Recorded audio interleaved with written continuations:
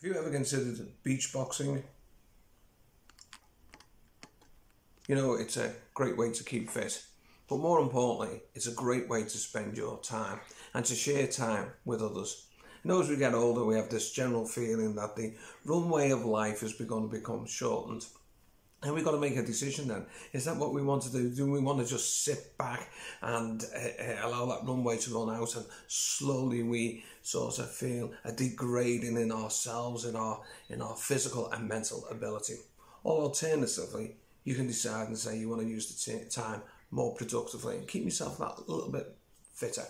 In beach boxing, we have three key words which have become our ethos. That, that is uh, mobility, community, and fitness, and essentially in that order. Mobility speaks for itself. The more we adopt a self care approach, in other words, we work out, we never burn out, and no one ever forces you to do something. It really is. It's your self. You decide on how much you have to give. That's a real important element because we understand as we get older, our mobility or restrictions of movement may impair what we can do. But we're not here to judge, we're here to help you improve, and that's why mobility is such an important issue.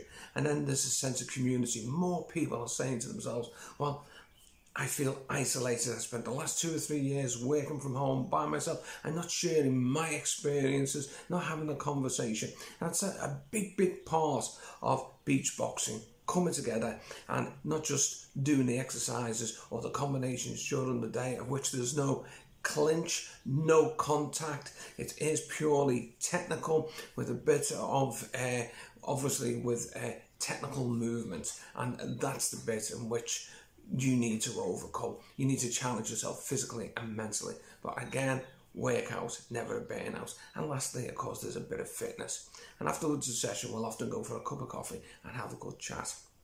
You may be that you have the time. It may be that you thought about uh, that you would like to create and give something back to your community. You have great experiences in, in life and you want to share them.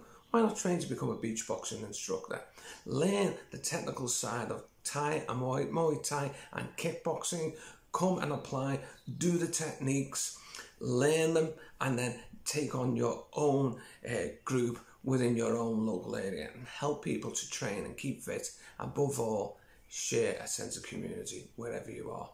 That is to become a beach boxing instructor.